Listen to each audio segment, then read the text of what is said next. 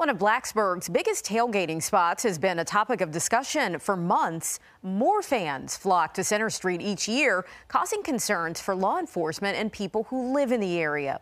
10 News reporter Alyssa Ray explains some of the options now on the table. Blacksburg Town Council is continuing to discuss ways to address the massive crowds at Center Street on Virginia Tech game days. And with football season right around the corner, the clock is ticking to find a solution. Game day on Center Street attracts hundreds of fans, and Town Council is evaluating different ways to disperse some of the people. One idea is to create a voluntary party registration process to develop accountability. Council is also tweaking some rules in its mass gathering ordinance and working with Virginia Tech to add an alternative activity on campus to attract fans. Uh, of course, Center Street's grown over the past several years into this really big event. Um, and really it's because the, the students, there's really no event for them on campus. So we're working with Tech to try to do an on-campus event and also looking just to, to put some, establish some more rules in place for, for Center Street in the future.